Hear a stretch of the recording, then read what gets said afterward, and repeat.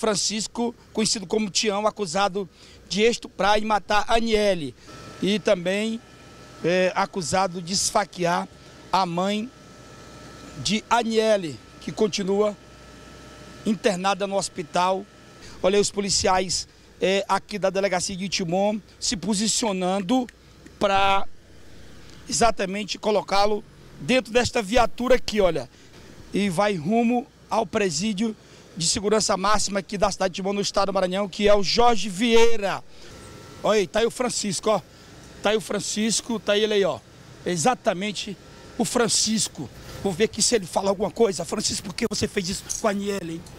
Nada pra falar. Nada pra falar. Nada pra falar. Tu tá arrependido? Aí.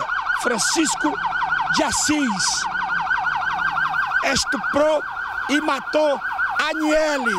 E agora ele vai para o presídio de segurança máxima da cidade de Timor. Eu vou acompanhar na lente a saída desse homem em absurdo primeira mão. Estou na tela da TV Antena.